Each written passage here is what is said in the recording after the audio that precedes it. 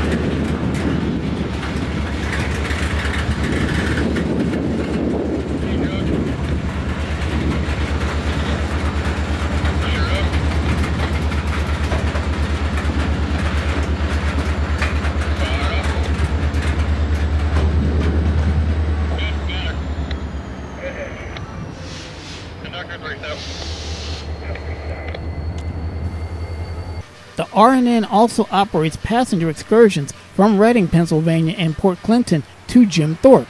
And starting around a year or two ago, they're now offering passenger excursions from Wilkes-Barre to points all around the system.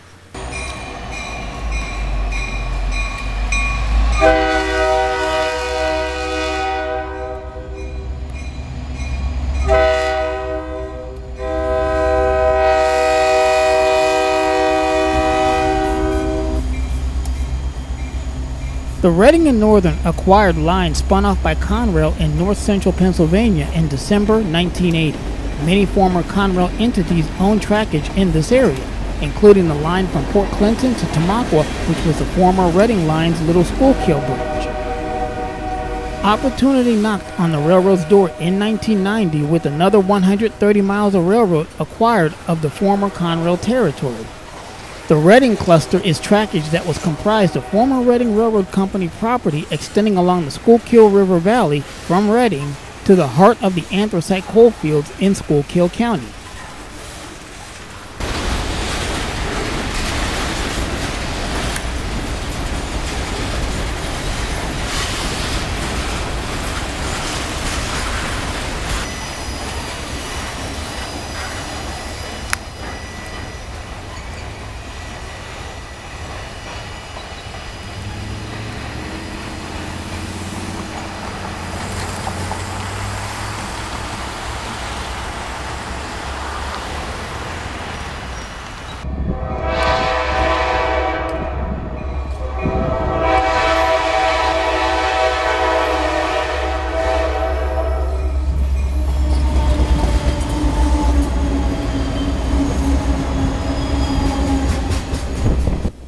An unprecedented growth in traffic forced the RNN to upgrade the physical characteristics of the new railroad.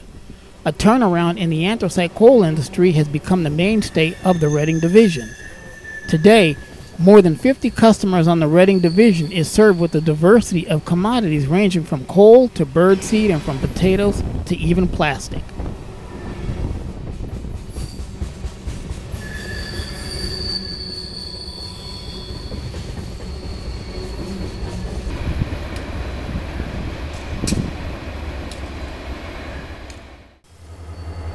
During the mid 1990s, the RNN saw more opportunity to expand their operations.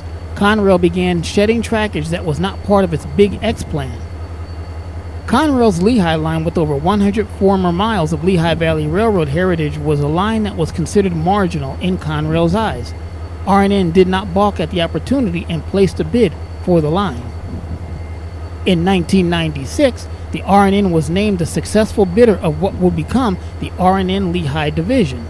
The line stretches from the southern foot of the Pocono Mountains at Lehighton to the historic cities of Wilkes-Barre and Scranton and farther into Wyoming County. An interesting side note to this acquisition would be the Canadian Pacific Railway's trackage rights that were inherited from Conrail. With these two lucrative divisions, the Reading and Northern proceeded into the next century as one of Pennsylvania's largest regional operators.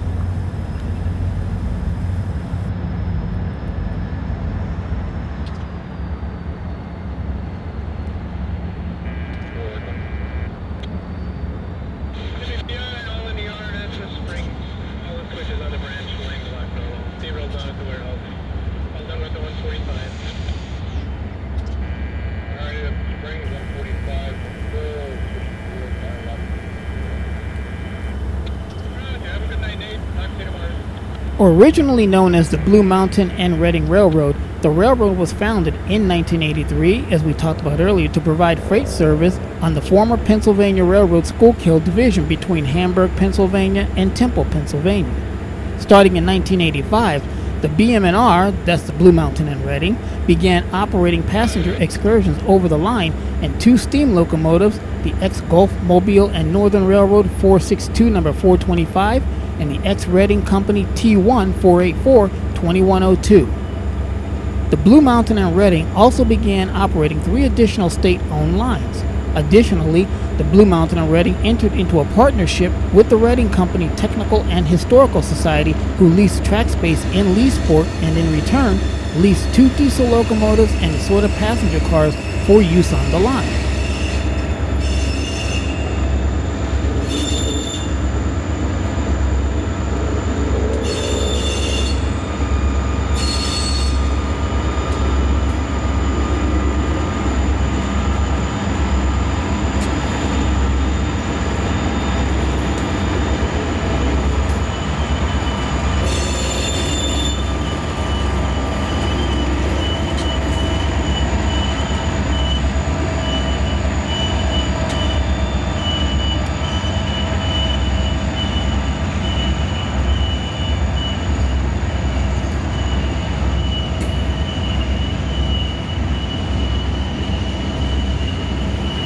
In 1990, the Blue Mountain and Reading took ownership of 150 miles of track located in the coal region north of Reading. Shortly thereafter, the company was renamed the Reading, Blue Mountain, and Northern and relocated its headquarters from Hamburg to Port Clinton. Throughout the 1990s and 2000s, the Reading and Northern acquired more lines in northeastern Pennsylvania, primarily in Reading Railroad, Central Railroad of New Jersey, and Lehigh Valley Railroad Heritage. In the mid 1990s, the Reading and Northern discontinued the regularly scheduled passenger operations between Hamburg and Temple and instead focused on occasional excursions throughout the rest of its system. The partnership between the RNN and Reading Company Technical and Historical Society had more or less ended by this point, but the group still leased track space in Leesport until 2008 when they moved to the Hamburg yard and opened the Reading Railroad Heritage Museum. Despite the discontinuation of the Hamburg to Temple excursions, steam operations continued. In 1995, both of the Reading and Northern steam locomotives were present at the grand opening of Steamtown National Historic Site in Scranton, though only the 425 was operational. The two would remain at Steamtown until 1997. Between 1998 and 2009, all steam operations were suspended. In 2005, regularly scheduled passenger excursions resumed with the introduction of the Lehigh Gorge Scenic Railway in Jim Thorpe. In December 2016, the Reading and Northern announced that it would invest $2 million to construct a train station at Pennsylvania Route 61 and Bellevue Avenue in Muhlenberg Township outside of Reading called the Reading Outer Station, with plans to operate passenger excursions from there to Jim Thorpe. On May 29, 2017, the first round trip excursion from Reading Outer Station to Jim Thorpe operated utilizing refurbished rail diesel cars that were built by the Budd Company in the 1950s and formerly operated along the Pottsville line between Pottsville and Philadelphia via Reading until SEPTA discontinued diesel service in 1981. Between 2009 and 2010, the Reading and Northern expanded operations due to the emergence of the Marcellus Shale natural gas drilling in northeastern Pennsylvania. The railroad spent $100,000 to transform an outdated and lightly used Pittston Yard near Wilkes-Barre. The R&N also purchased two new locomotives, 101 rail cars, and six miles of track between Monroeton and Towanda, Pennsylvania, where much of the northeastern Pennsylvania's Marcellus Shale economic activity is focused. In 2017, the connection of the Hazleton shaft and the Hazleton Hiller drying plant to the railroad was finally finished.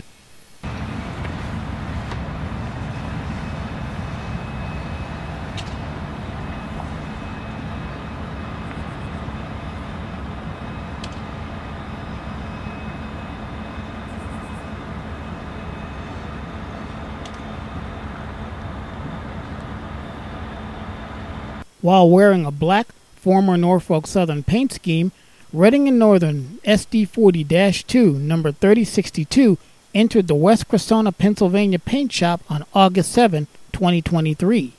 It emerged on September 15, 2023, as the RNN number 1983. It's decorated in a paint scheme that celebrates the 40th anniversary of the Reading and Northern Railroad. The locomotive is a tribute to the first days of the railroad operations in 1983 when the railroad was originally named the Blue Mountain and Reading, which operated 13 miles of track from Temple to Hamburg, Pennsylvania. Today, the Reading and Northern operates over 400 miles of track in nine counties.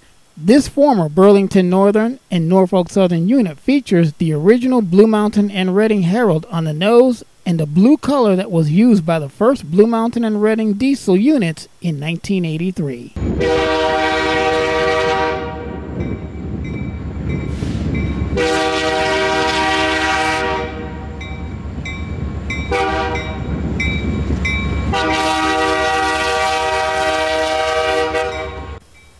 The Reading and Northern Railroad recently surpassed 1 million tons of anthracite moved over its railroad for the first time in its history.